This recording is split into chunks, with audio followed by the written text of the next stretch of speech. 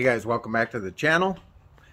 As promised, I was going to show you an upgrade that I did on Abel. But first I want to go into the uh, naysayers. So all of the naysayers said that the way I had my battery set up wouldn't work because I was running both shelter power and truck power off of the same battery bank. Said it wouldn't work. So here are all the batteries I removed. These are all dated mid 2018.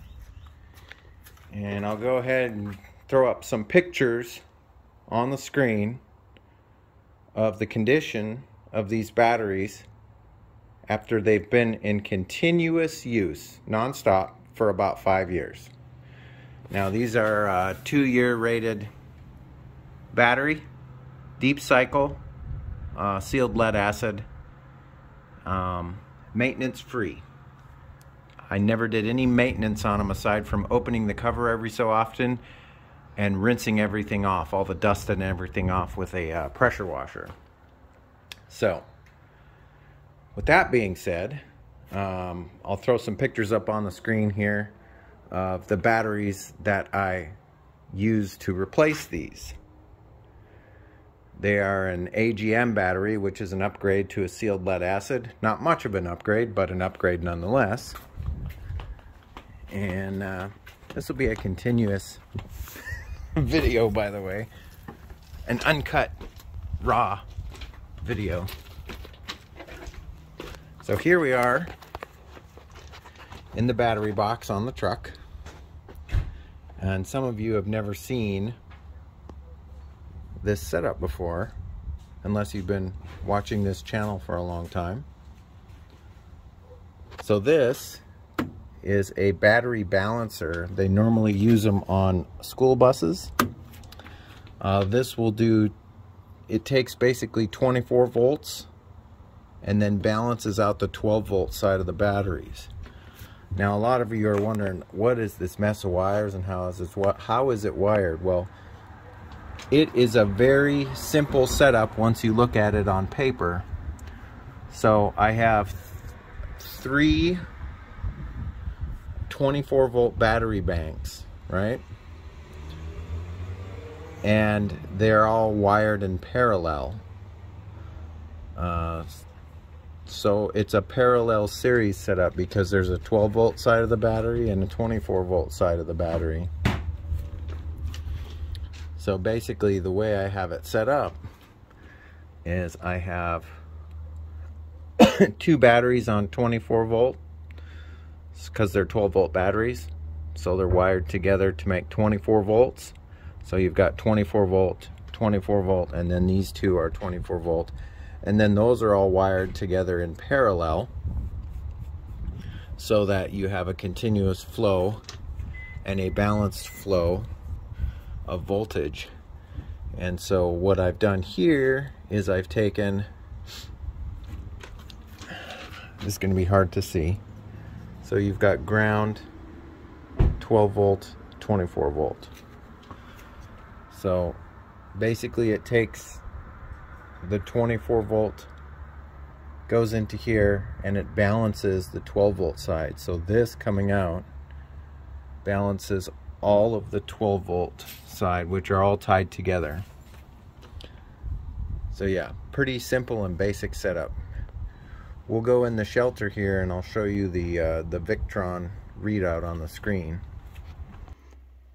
So if you've been watching the channel for any period of time, you'll know that I uh, a while back installed all Victron components and uh, upgraded from the Xantrex stuff. So basically the way I have this set up is I've got some 100 amp breakers in here and a 200 amp breaker.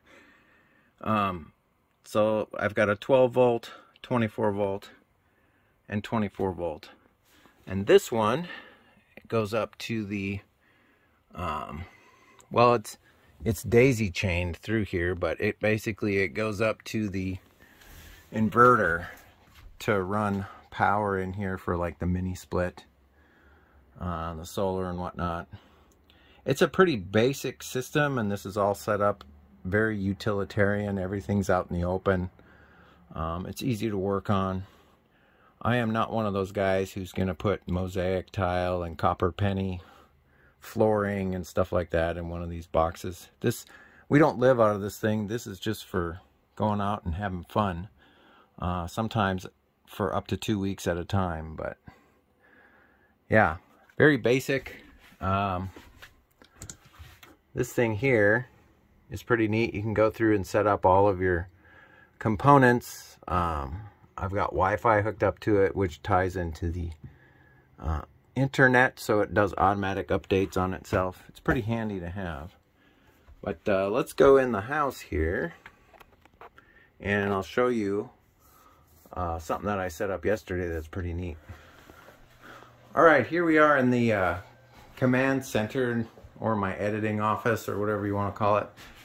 But check this out. I've got the uh, Victron Connect uh, software set up on my computer and you can kind of go through here. You can basically set everything up um, through this app or this software, I guess you could say. Um, it's pretty handy. So right now it's in real time and it's showing some of the information that's available. You can also download this app on your phone. Um, and we can go into some of the advanced um, systems looking at the DC and the uh, state of charge. What else do we got here? AC consumption. Obviously, not a whole lot of this stuff is going to work until you turn that inverter on, but um, when it's just sitting here idle, it's kind of neat to look at like the solar and whatnot. So yeah, just a quick update on uh, every everything people said wouldn't work for the longest time. You can't run uh, your house batteries and your vehicle batteries off of the same battery bank. Well, you sure as heck can and I've been proving it for five years now. So don't let anybody tell you that you can't do it. But other than that, uh, that's probably going to be it for this episode, guys. If you like this episode, give me a thumbs up. If you're not subscribed yet, love to have you as a subscriber. As always, you're going to want to stay tuned. You never know what's coming up on this channel. But other than that, I hope you guys are staying safe, taking care of each other. And as always, I will catch you next time. See you later. Bye-bye.